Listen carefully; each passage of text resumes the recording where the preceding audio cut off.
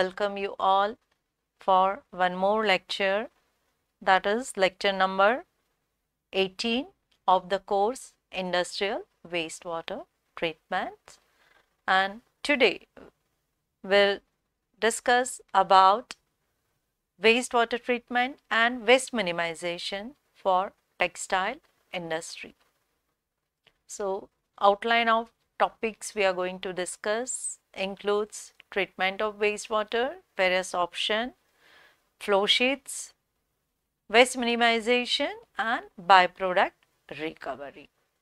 So, if you remember the characteristics high pH, high TSS, TDS, high BOD and COD of textile wastewater, it requires primary as well as secondary treatment.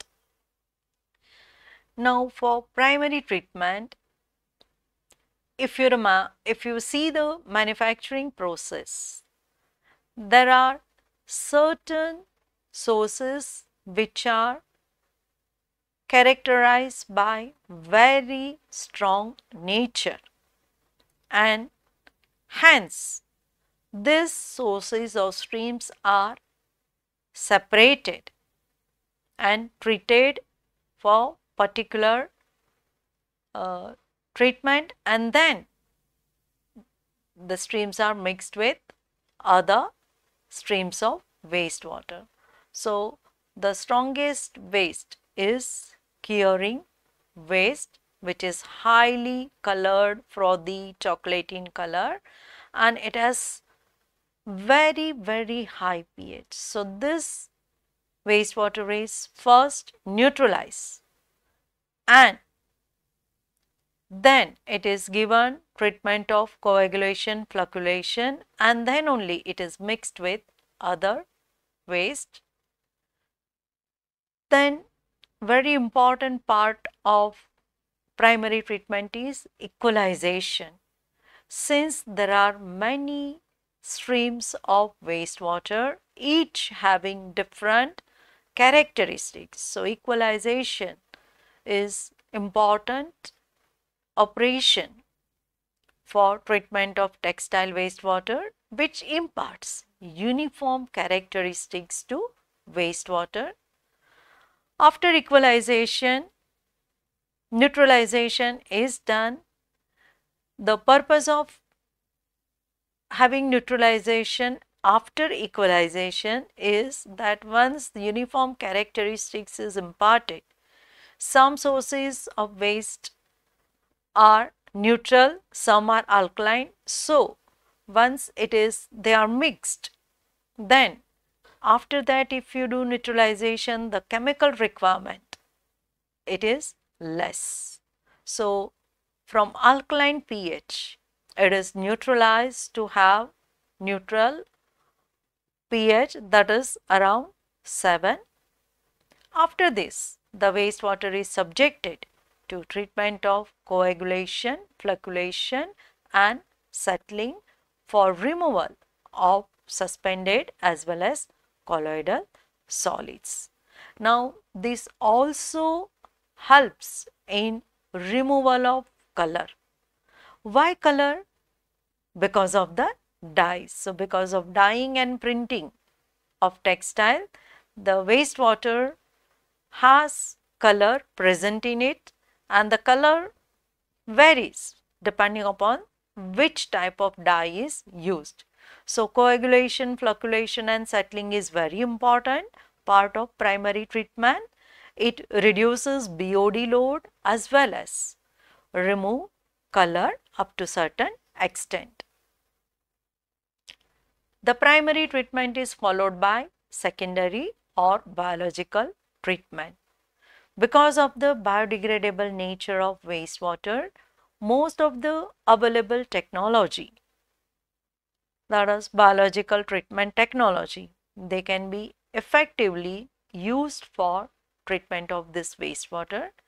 Activated sludge process can offer efficiency 90 to 95 percent which is really good. Trickling filter also gives same efficiency for low cost treatment. Aerated lagoons 80 to 95 percent efficiency if hydraulic retention time is 6 to 7 days and it can offer 75 to 80 percent efficiency with hydraulic retention time reduced to 2 days. Another cheaper option is use of oxidation ditch which gives 85 to 95 percent reduction in BOD with HRT of just 12 hours. So, if you look at the wastewater treatment flow sheet, it starts with equalization, neutralization, coagulation, flocculation and settling. Then aerobic treatment like ASP and trickling filter followed by secondary settling tank. Supernatant from SST is ready for disposal after disinfection. Okay. Now, many times the primary and secondary treatment they are not sufficient especially with respect to color. And many times further treatment which we call tertiary treatment is needed. And main objective of the tertiary treatment is removal of color. So, for removal of color various advanced technologies are available and any one of the following can be used effectively for color removal. That is use of electrocoagulation. Then membrane filtration like reverse osmosis or microfiltration ultrafiltration. Then dye recovery. That is use of semi permeable membrane and recover dye.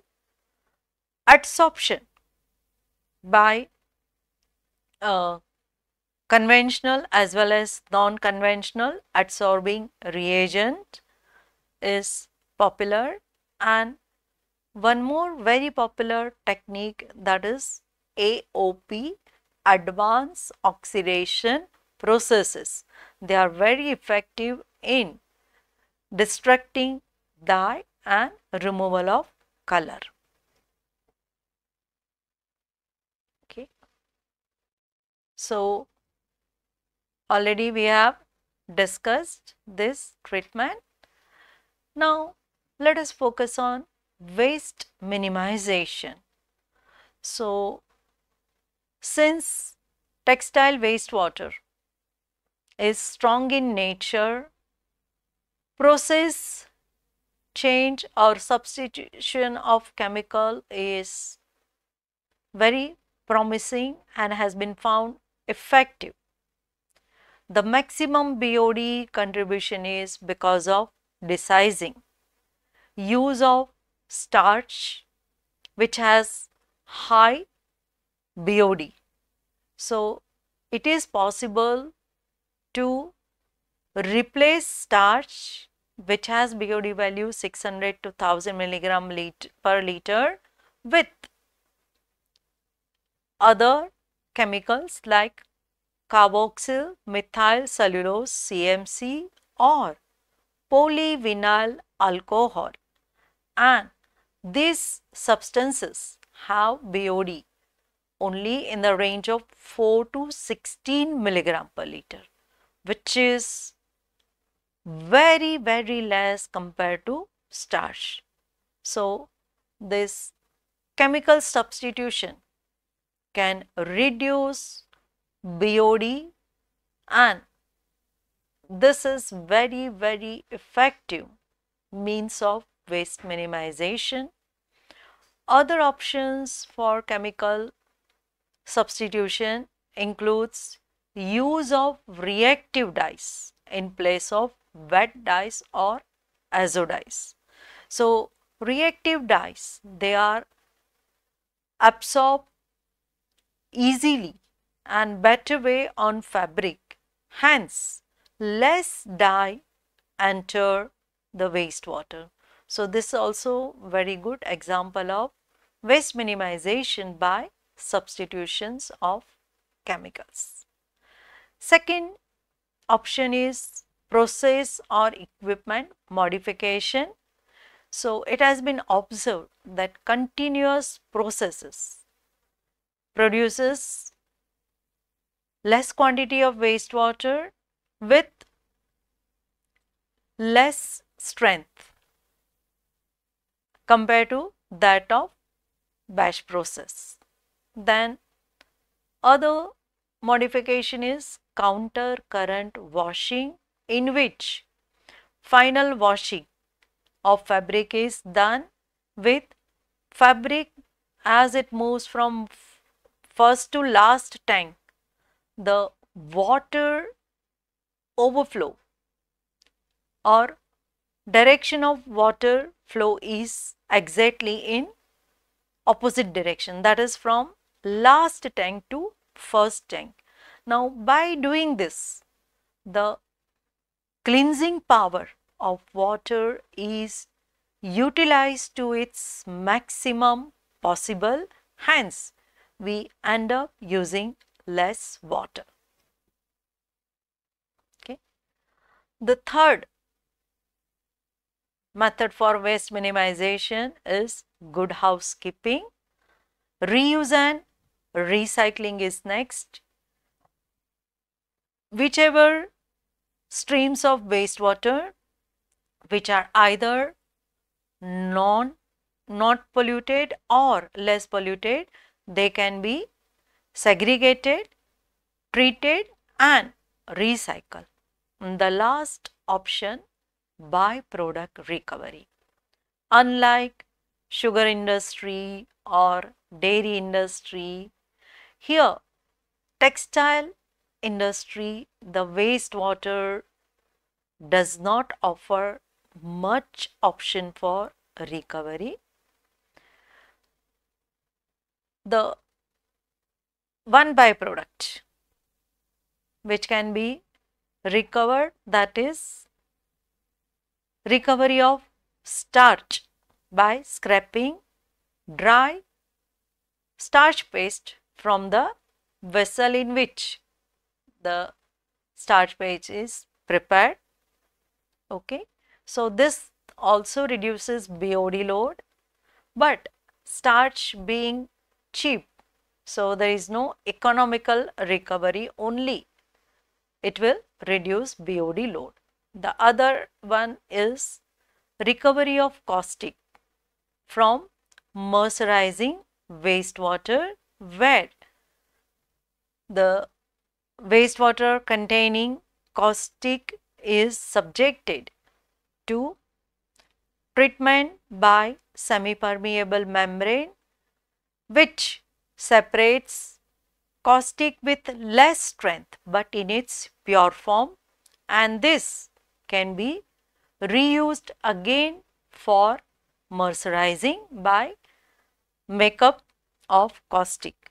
So, this uh, are the various options for waste minimization for textile industry. So, we will end this lecture and in the next lecture, we will discuss another agro-based industry that is pulp and paper industry. Thank you everyone.